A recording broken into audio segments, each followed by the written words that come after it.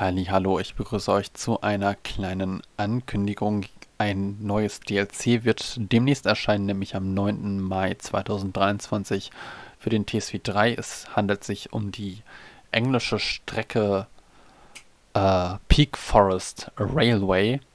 Und zwar die Strecke zwischen Ambergate und Chinley und Buxton. Am 9. Mai jetzt schon äh, zur Pre-Order zur Verfügung gestellt auf Steam.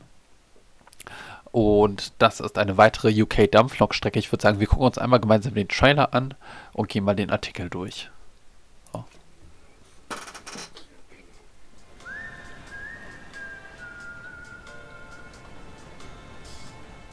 Aha, schöne Innenräume da.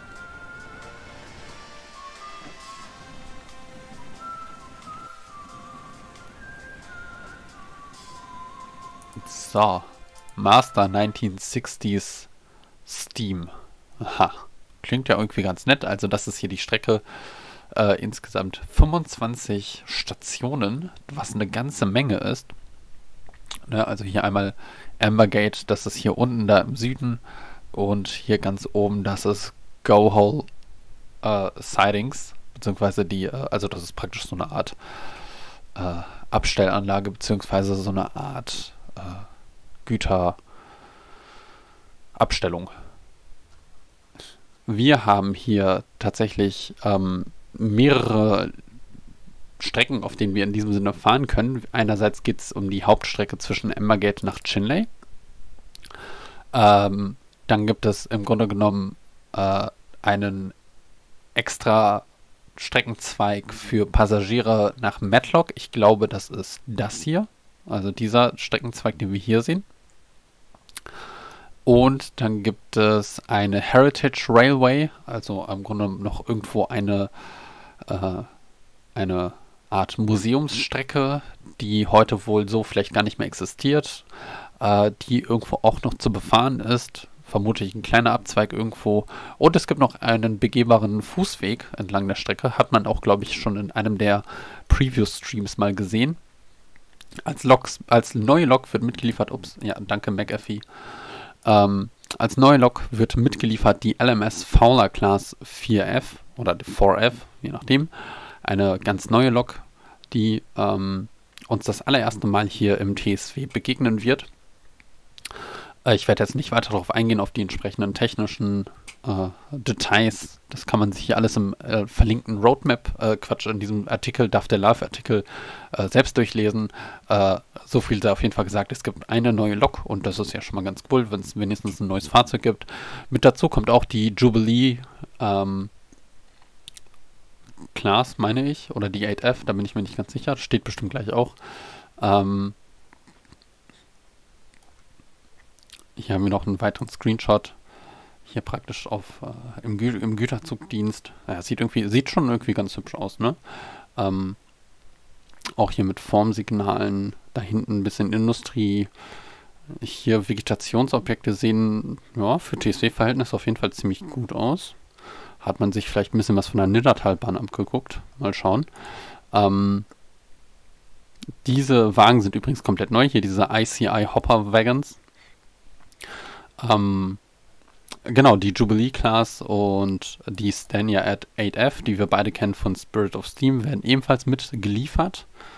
Ähm, sodass wir also alle drei Dampfloks, die wir dann haben, auf einer Strecke zu sehen sein werden.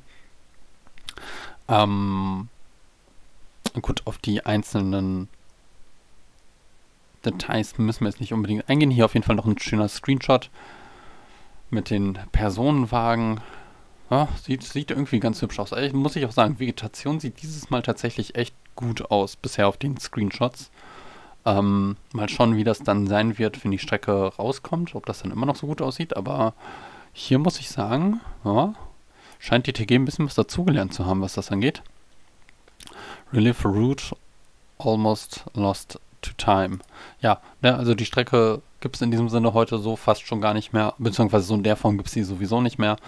Ähm, und sowas finde ich immer ganz cool. Wir warten ja immer noch auf eine deutsche Dampflokstrecke. Mal gucken, was, wann sowas mal realisiert wird. Aber der Wille zu Museumsbahn bzw. zu historischen Strecken ist ja auf jeden Fall vorhanden. Hier haben wir noch so ein paar, äh, hier Anfield Road, äh, so ein paar alte Poster.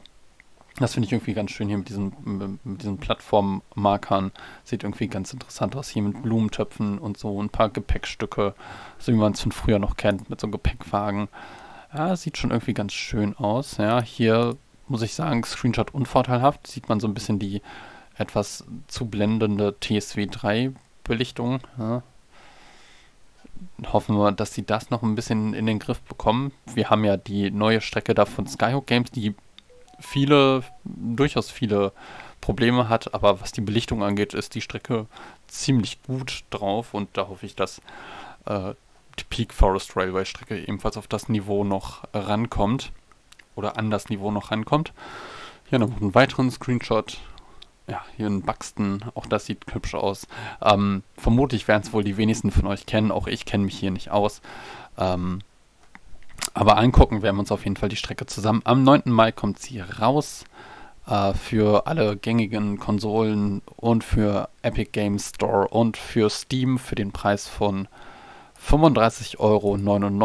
Ich bin mir nicht ganz sicher, ob es vielleicht so eine Art Vorbestellerrabatt gibt, gibt wenn man es halt pre-ordert äh, auf Steam. Das kann gut sein, das weiß ich allerdings jetzt gerade nicht.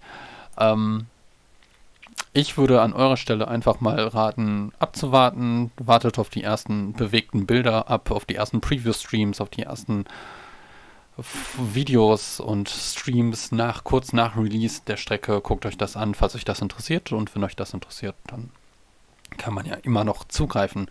Gut, ich bedanke mich fürs Zusehen und hoffe, dass ihr beim nächsten Mal wieder mit dabei seid. Macht es gut, tschüss, ciao und auf Wiedersehen.